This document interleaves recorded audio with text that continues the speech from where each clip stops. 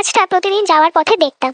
কালারটা এত সুন্দর আর দেখো প্রত্যেকটার পাতার মধ্যে আবার মাঝখান দিয়ে কেমন সুন্দর সুন্দর গোলাপি রঙের একটা আভা রয়েছে। খুব সুন্দর লাগতো পাতাগুলো।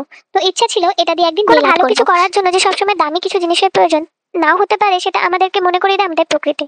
তো এই আমার হাত আর এই হাতেই আছে এই পাতাগুলো দিয়ে নেলাট করব। ফুল বা পাতা দিয়ে যখন তোমরা নেলাট করবে সেগুলো এক দুদিনের বেশি স্টে করবে না। তাই জন্য এগুলো আমি পলিজেল দিয়ে করছি যাতে এক দুদিনই থাকে। পলিজেল দিয়ে নেলটা তৈরি করে তারপর ওর মধ্যে পাতাগুলোকে জেল দিয়ে স্টে করালাম, যাতে ওগুলো খুব সুন্দরভাবে নেলের সাথে বসে যায়। আর তারপর একটা সুন্দর শেপ দিয়ে সেটাকে কিওর করে দিলাম ইউভি নেল কেমন হয়েছে আর নেল আর্টের ডিজাইনটা কেমন হয়েছে সেটা তোমরা অবশ্যই আমাকে জানিও। আর পরে অন্য কি দিয়ে বানাতে পারি সেটাও বলো। আজকের জন্য এই অবধি। দেখা হচ্ছে আবার পরের ভিডিওতে। ভালো লাগলে লাইক এন্ড শেয়ার করতে ভুলো না।